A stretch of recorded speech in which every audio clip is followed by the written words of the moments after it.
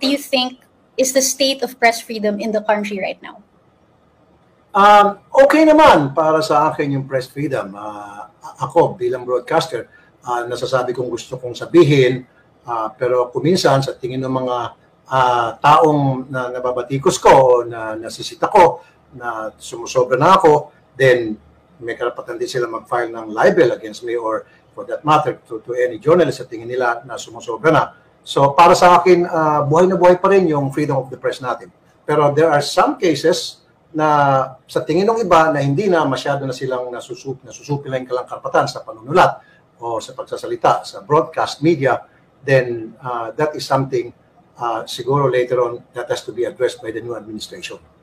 Mm we have a presidential, a presumptive president, in fact, who uh, re, iniilag niya yung critical media. Nagpapa-interview lang siya sa mga media na sympathetic sa kanya. We've seen in his press conferences and in those of his spokesman na ini-ignore yung mga questions from certain media organizations. It's Sinajan Rappler. We have also an outgoing president who has banned reporters from covering his events. What do you say is the impact of this on press freedom?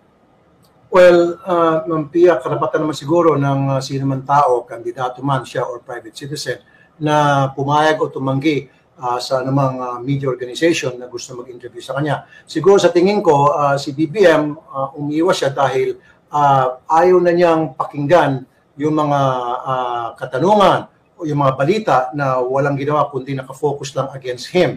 Uh, wala na siya narinig na something uh, neutral or something in favor doon sa kanya na may nagawa siyang maganda na hindi naman nagbibigyan ng espasyo. So siguro yun ang pananaw niya at nirespeto natin yan. Pero yung questions that have been addressed to his spokesman were not about, were not even about martial law abuses recently. They're actually about policy and what uh, he as president will do, for example, about yung kanyang um, uh, contempt order sa United States, paano siya makakapunta doon, di ba yung mga proclamation ni Presidente Duterte about uh, September 21, martial law anniversary. So these are, these are not like, these are questions about policy and don't you think na yung mga ganyang tanong hindi dapat iniilag? What do you think of that? Um, hindi ko pwedeng uh, hindi ko pwedeng pangunahan or uh, I'm not gonna I'm not the spokesperson of uh, uh, BBM and I'm not gonna say anything na mapapangunahan siya kung kung ano man yung gusto sabihin later on and uh, hindi ko siya uh, pwedeng uh, ma- pwedeng magsalita uh, for him. Ang masasabi ko lang, uh, may karapatan naman siyang tulad sinabi kanina, pasensya na na magpa-interview uh, sa kanina man gusto niya uh, magpa-interview at pwede siyang tumanggi sa kanino man gusto niyang tumanggi sa mga gusto mag-interview sa kanya o magbigay siya ng statement for that matter. Sa nakikita ko lang kasi lately, uh, parang bugbog na bugbog na siya. Uh, hindi lang uh, sa sa, sa uh, mga bashers niya sa social media, kundi maging sa mga iba't ibang uh, media outlets, uh, parang, um, sorry ah, parang palagi na lang siyang dinidiin. Uh, palagi na lang uh, nahanapan siya ng butas na mga kamalian na para sa kanya ay hindi naman talaga isang purpose ng pagtakbo niya, kundi para sabi nga niya, to unite the country. At uh, kung mapapansin natin, excuse me, every time na meron siyang bashers, hindi niya pinapatulan kasi talaga pinanindigan niya yung kagustuhan niya na to unite the country at ayaw niya magkaroon ng uh, mahaba pang uh, kaguluhan, uh, pagkakawatak-watak ng ating bansa ng ating mga mamamayan. But as a journalist, as a journalist, do you think that the presumptive president should answer critical questions about his incoming administration? Yeah, he should. He should answer. Uh, karapatan din ng taong bayan na marinig kung ano yung mga pananaw niya uh, tungkol doon sa issue na ibinabato sa kanya, tungkol sa issue ng bayan at kung paano niya mabigyan ng solusyon ang mga uh, uh, issues na kailangan talaga ma-address. Pero nakita ko naman, uh, meron din siyang uh, uh, mga interviews sa iba-ibang media outlet na sa tingin niya uh, hindi magiging bias sa kanya tulad ng uh, SMNI.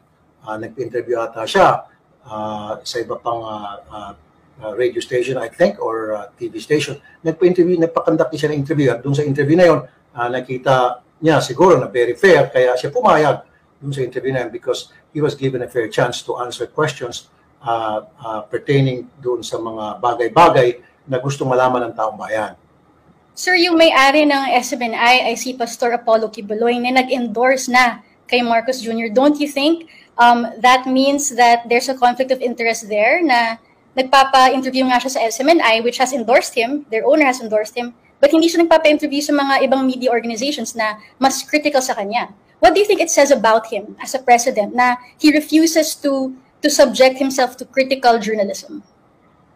Yeah, siguro kahit na ako, Ma'am Pia, kapag halimbawa meron isang media na kita ko ay bias at uh, palagi na lamang akong uh, uh, sorry, uh, binabash o uh, ginagawa ng mga istorya na kuminsan ay masakit na at wala na sa tama, eh, iiwasan ko yung media outlet na yan magpa-interview dahil ano mapapala ko, eh baka ipitin na ako at uh, baka kung ano na pa mga uh, uh, gagawin mga katanungan na kung saan eh, lalong madidin ako kahit na wala namang katotohanan yung mga issue na yon. So I would rather go to the media outlet na alam ko mabibigyan ako ng fair chance sa interview at uh, hindi basta-basta ang interview kundi interview na makabuluhan na marami makikinabang ng mga mamayan tungkol sa mga impormasyon o sagot na ibibigay ko.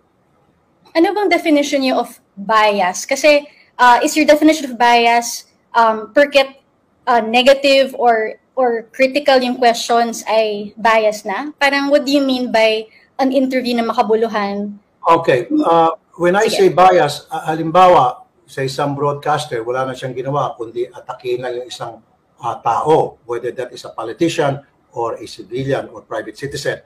Day in and day out, wala silang ginagawa kundi nag-concentrate na lang, nagka-focus sa pagbatikos, sa pagpuna ng mga kamalian ng isang taong yon na hindi na pinupuna yung mga nagawang kabutihan naman ng taong yon. So para sa akin, para maging patas, dapat kung marunong bumaktikos sa isang tao, kay Juan, halimbawa, yung isang taong uh, na pinag-uusapan natin, kunya kay BBM, okay, sige, sabihin natin si BBM, kung marunong bumatikos kay BBM, dapat marunong din silang pumuri. Meron mo sigurong good side yung isang tao, hindi naman siguro palagi nilang bad side ang dapat uh, mapuna natin. Siguro yung good side ng tao, kailangan ilabas natin para yung magiging projection o yung pananaw ng taong bayan na ah, patas to kasi tinitimbang yung uh, positive side, tinatalakay, yung negative side, tinatalakay, and then pwede in the middle.